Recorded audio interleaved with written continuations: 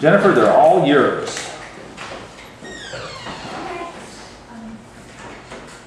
Come on in, Danny. Just take, take a seat with two. Can someone read this for me? Anybody want to? Alright, here we go. He looks like a blonde ferret. Stringy unwashed hair and huge eyes, jeans that are barely recognizable, stained white t-shirt, huge red overshirt, ratty old sweater. The sneakers, one Converse and one Nike, are both untied and the layers are all partially buttoned, even though it's got to be 100 degrees in the subway. This guy is so filthy I can hardly look at him. I mean, he's caked. Looks like an old war victim from some black and white film. Alright, what would a passage like this add and enhance a novel? How would do that? It's very descriptive. It is very descriptive. What is it talking about? Somebody that the narrator sees. That's right. He's talking about a character. Our lesson today is going to be about character development. This is a creative writing class, and we are going to eventually write you a story.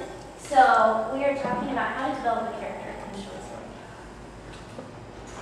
Objective. After reading and hearing the lesson about character development, the students will be able to effectively use physical description, action, or reaction to reveal key information about a character with 100% accuracy. Um, Dewey Hensley, who has been teaching creative writing for many years, has talked about six ways to reveal a character. And today we're going to talk about three of them. One is physical description, action, and reaction. A couple things about all these. Um, it must give the audience valuable information about the character. I put an example of a bad description up here. The man was wearing blue jeans, a t-shirt, and brown shoes. We have no idea who this man is. We have no clues as to what his personality is. It doesn't progress our plot at all. A good description might be the businessman with his Armani suit, silk black tie, and polished shoes walked into the conference room his leather briefcase on the table. What would an example like this, how, how would it, what would it tell us? What would we know about the character by a description like this? Has money. That's right, he has money. He put it down quietly uh, and carefully, so maybe he's like a bit nervous about not standing out. Maybe, Gives was a bit of a setting as long, along with it. it does. Obviously in a building somewhere. Uh-huh, definitely. So it develops our character and gives us a sense of the setting and our surroundings in the story. Physical description. As we said, it's definitely very descriptive. And that's what the first paragraph passage that we were talking about um, is about. What would you say a passage like this, how would we, what does it tell us about the character?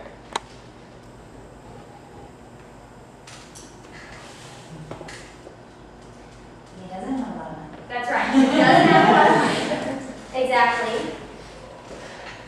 That he's, Same subway.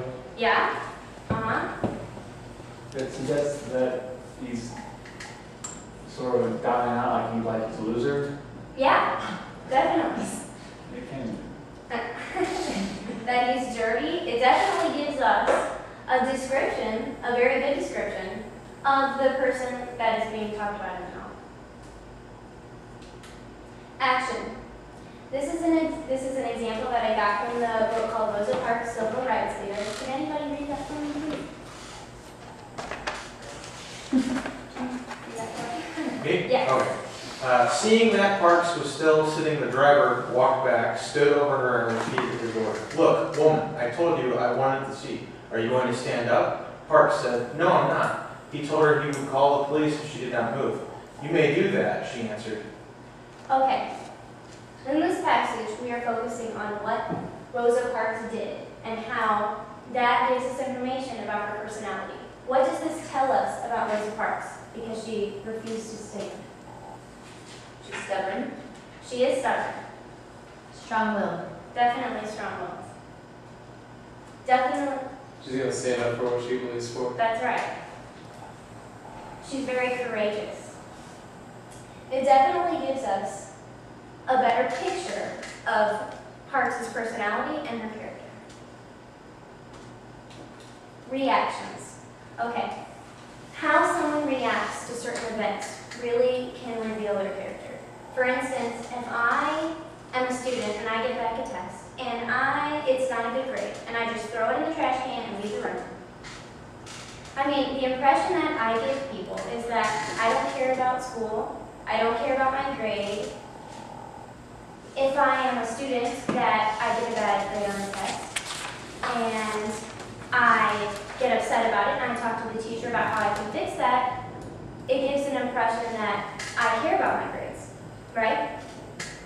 So how we react to things definitely tells something about us. Can someone read that for me? Tony's words stung Laura. It wasn't what she expected to hear. They had been dating for over a month now. How could he do this to her? How could he break her heart? All three of their dates had been fun. He had said so himself. As Tony watched the floodgates, the floodgate of her eyes began to open, and he looked at his watch.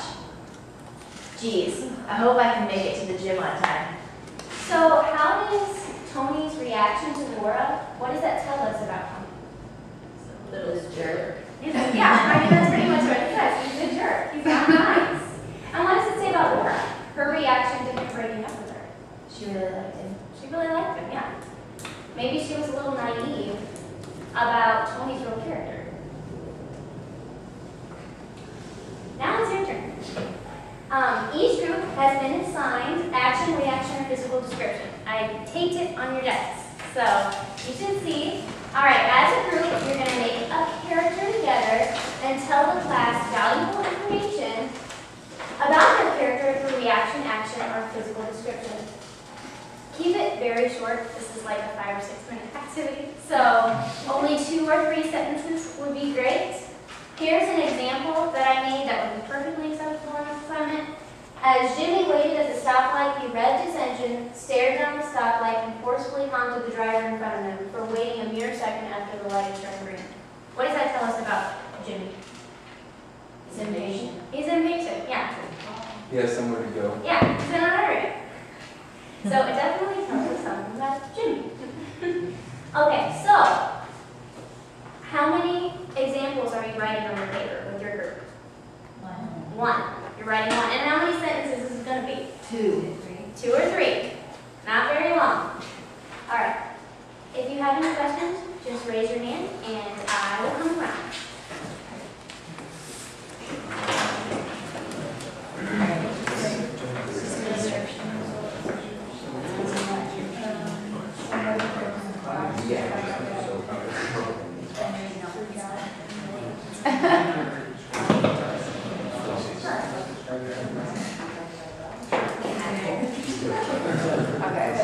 Catholic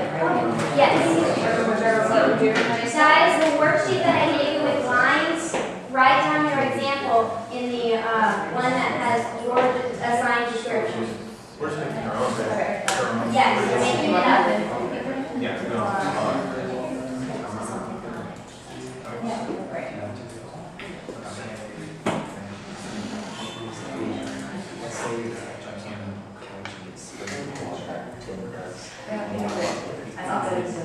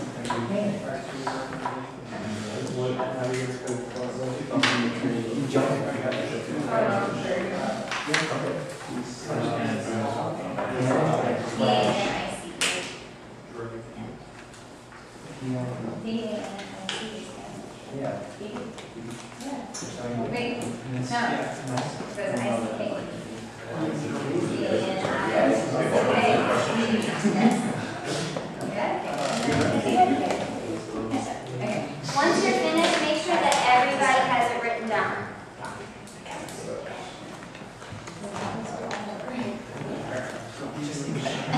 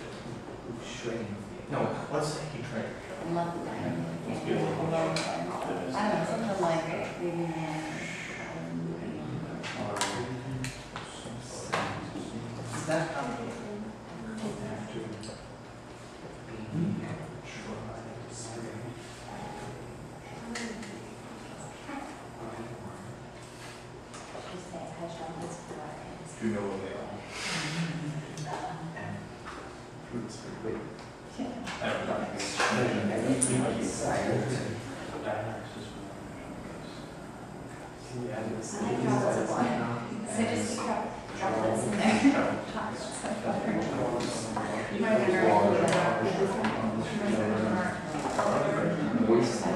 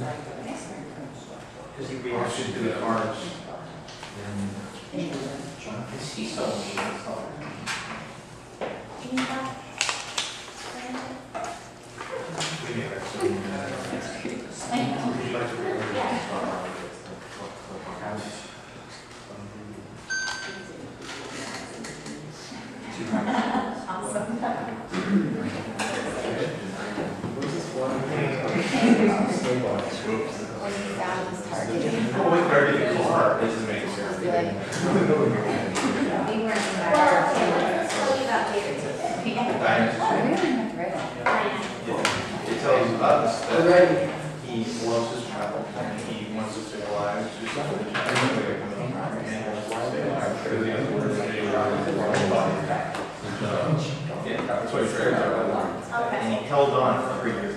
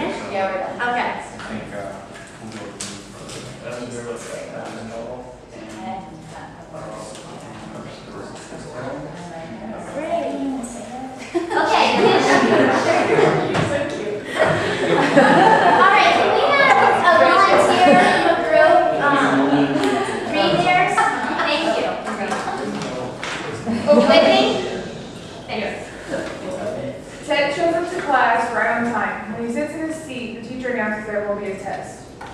Ted stands up, grabs his stuff, and he begins screaming at the teacher because he did not know about the test. He storms out of the classroom and says he will not be back again. All right, so what does this tell us about um, this character?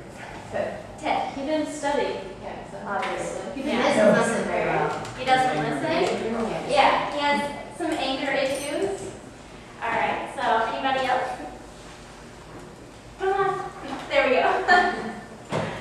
We wrote about a cat. I hope that's. All right. Alright. Fluffy, the cat with no tail, panicked and thrashed wildly about, shredding everything in sight as droplets of water moistened his back.